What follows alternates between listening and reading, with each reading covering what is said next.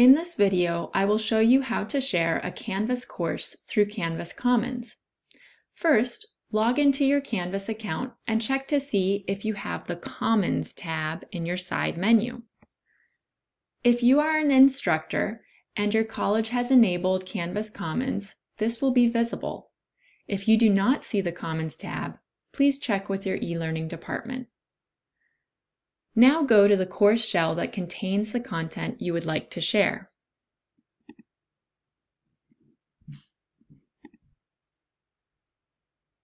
To share an entire course, click Settings and choose Share to Commons.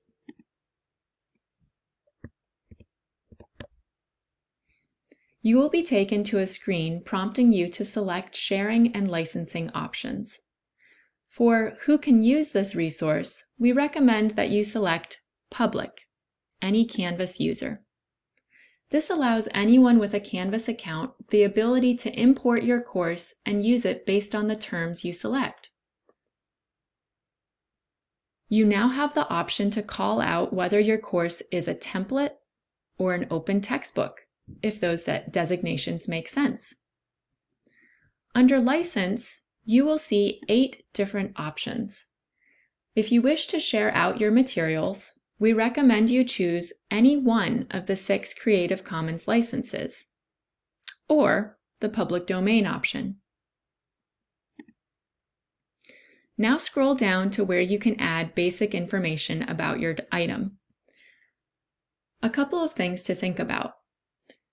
Be sure to add proper identifiers in the tags. For example, if your course was developed for Lake Washington's Mathematics Department, add LW Tech Mathematics in the tags.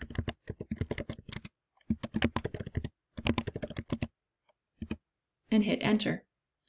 That way, when users type LW Tech Mathematics in the search window, all courses with that tag will appear.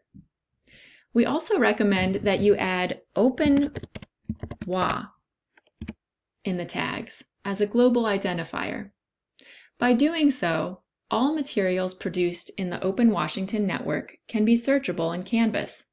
This is optional, but it helps users narrow down their search results, especially if they're looking for locally developed resources.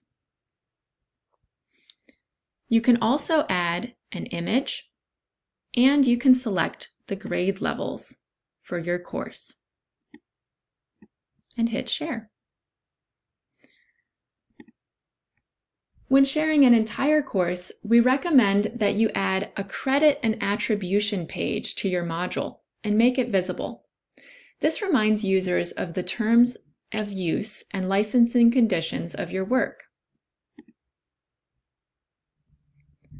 For example, on the credit and attribution page, you could simply note, this course was developed by, for example, Dr. Albus Dumbledore for Hogwarts School of Witchcraft and Wizardry. Creative credit should go to Dr. Albus Dumbledore. Appropriate citation would be Advanced Potion by Albus Dumbledore, developed for Hogwarts, CCBY. You have now shared your OER through Canvas Commons and made your licensing info visible within the course. Thanks for watching.